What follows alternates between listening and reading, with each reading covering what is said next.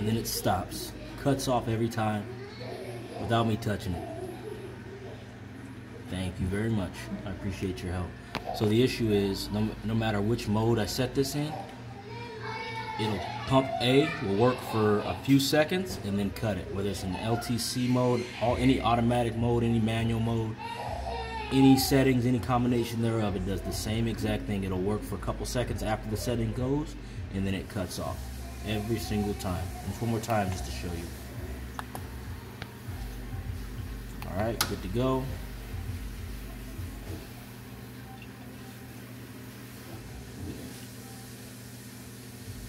And off.